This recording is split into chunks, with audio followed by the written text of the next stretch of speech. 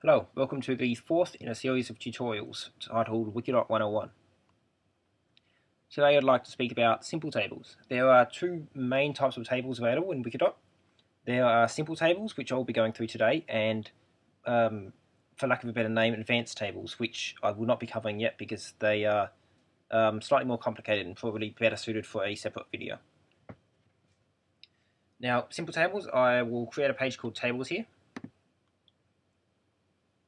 this is back on the tutorial wiki again, which you can access with tute01.wikidot.com.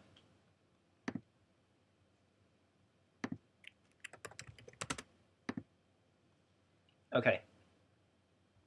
Now I believe, before I do anything here, okay, yeah.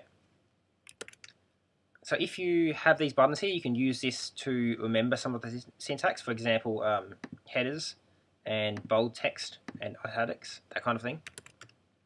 It looks like um, tables are in here as well because I don't usually use these buttons, I just remember it. But just say you have three rows and three columns, and you want the first one as a header. I'll, I'll yeah, I'll do that first. Now, you, what you've seen there is you've got three rows, three columns. Imagine these double lines as um, a line in the table. You'll see what I mean in a mo moment. And this squiggly line here, the tilde, uh, that means that it's the header.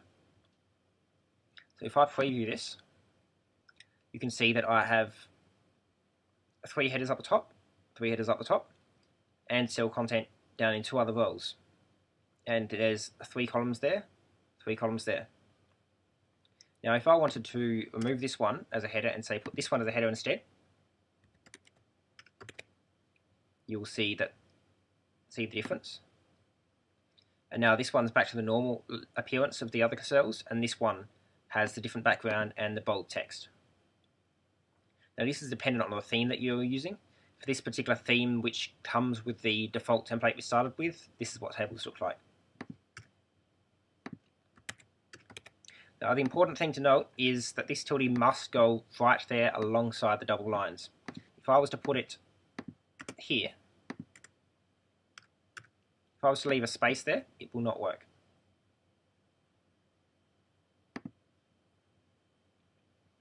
And actually thinks that it's text. So if you want a tilde in your as the first thing in your cell, table cell, then you put a space there.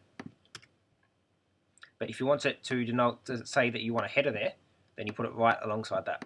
So just say I have what can we have the table? We can have um, people, age, location. My name is Shane. So there's someone else called Bob. My age is currently 23. Bob could be, I don't know, 28. Location, Australia. Location, United States. as you can see, with these double lines, you can kind of view what the table is going to look like before you actually preview or save the page, which is the massive, massive benefit for simple tables. You can kind of see what it's going to end up with. If I preview this, now compare that to that, you can see people, age, location, and headers, the list of people, their ages, and the location. Now, if I wanted to merge some of those, Okay, we'll go we'll go with people.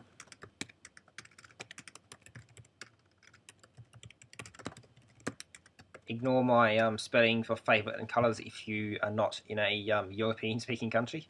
I know the US spells it without the U's, but that's how I spell it, so we'll go with Shane and Bob again, for lack of better idea and just say I have my colors as blue, red, green. And that is black, yellow, purple. If I preview this, you'll see that the cell width has expanded to fit everything in there because it's longer text. But if I wanted to something else, bear with me, I'm just fitting in some random values. and we'll do an unknown for the sake of it.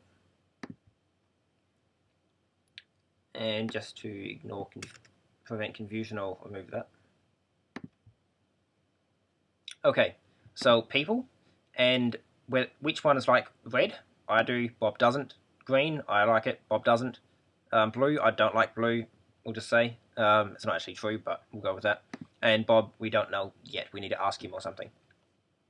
Now, we don't know what they are. We, they could be, they could just be, I know, blue cars. They could be blue books. They could be anything.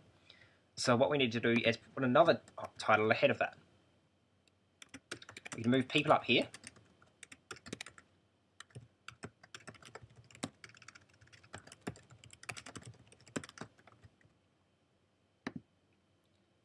Uh, we'll say favourite coloured cars. We'll call it that. Now you'll see what the problem is here in a minute. If I just delete this one because we don't want that there. Now, the problem here is that that is over red only. We want it to go over red, blue and green at the same time. To do this, you put the extra bars in. So we're starting here. We've got one, two extra bars. So we put, that's one set, and that's the second set. What that tells us is that this word here, this phrase, needs to go over all three cells. Slightly complicated, but if you do it for a little bit, you'll get the hang of it pretty fast. And now you can see that we've got favourite green colored favourite coloured cars over the top of that. So now we know exactly what the red, green and blue is talking about. It's talking about coloured cars. And just for to make it look decent, we'll put that as a header colour, even with no actual text in there. Now that's the same colour. Uh, that's it for today's tutorial. If you have any questions, ask in the YouTube comments. Um, yeah, that's it for now. Hope you learned something.